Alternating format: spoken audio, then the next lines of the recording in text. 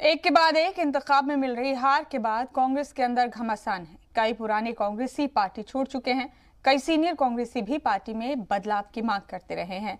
लेकिन कांग्रेस एमपी राहुल गांधी ने इस दौरान एक बयान दिया है। सोशल मीडिया सेल के वॉलंटियर्स के साथ बैठक में राहुल ने कहा कि पार्टी को बेखौफ लोगों की ज़रूरत है। हमारे यहाँ जो डरे हुए लोग हैं, उन्हें बाहर निकालो। वो आरएसएस के हैं। हमें बेखौफ लोग चाहिए।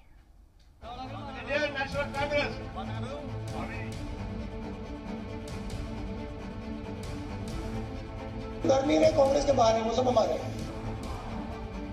हमारे यहाँ डर रहे हो तो बाहर निकालो। आरएसएस के हो जाओ, भागो।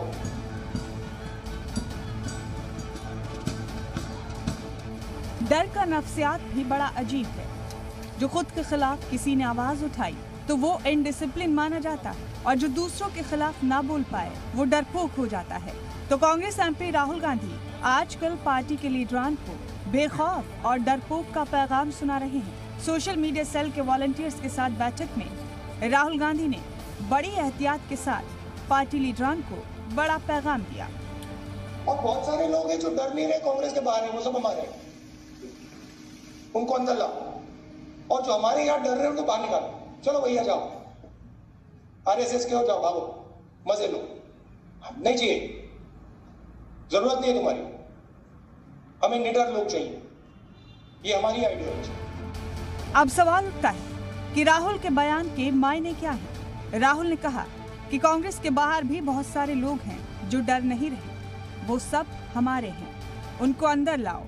तो क्या राहुल गांधी, ममता बनर्जी, शरद पवार, अरविंद केजरीवाल, अखिलेश यादव जैसे हिजब इख्तलाफ के बड़े चेहरों को कांग्रेस की कयादत में महाज बनाने का पैगाम देना चाहते हैं? राहुल ने दूसरी अहम बात कही कि जो हमारे यहाँ डर रहे हैं, उनको बाहर निकालो।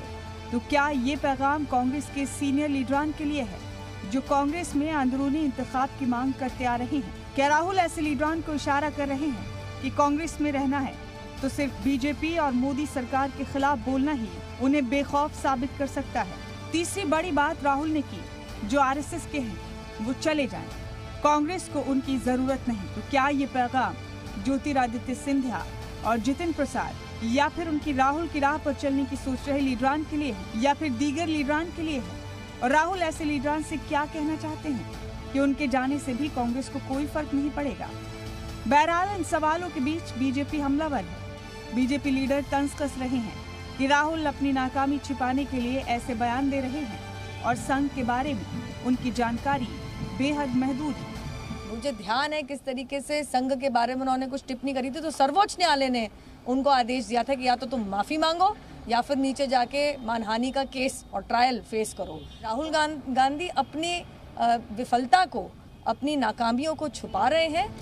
बीजेपी की मुखालफत तो अपनी जगह है, लेकिन राहुल गांधी डर वाले बयान में उनका अपना दर्द भी छिपा नज़र आता है और डर भी। राहुल गांधी ने बेशक खुलकर किसी का नाम नहीं लिया, लेकिन कांग्रेस में क्यादत पर सवाल उठाने वालों की कोई कमी नहीं। गुलाम नबी आज़ाद से लेकर कपिल सिब्बल, आनंद शर्मा और मनीष तिवारी तक तेईस ऐसे लीडरान हैं, जो कांग्रेस में तंजीमी तब्दीली के पैरोकार हैं। सोनिया गांधी को खत लिखकर भी अपनी बात रख चुके हैं, लेकिन कांग्रेस में बिना डर वाली ये आवाज़ बगावती मानी जाती है। और आज तक राहुल गांधी ने खुलकर कभी इन लीडरान की बातों की हिमायत नहीं की। और इसीलिए सवाल ये भी उठ रहे हैं कि क्या राहुल इन लीडरान को पैगाम देना चाहते हैं? Bureau report, Zee Media.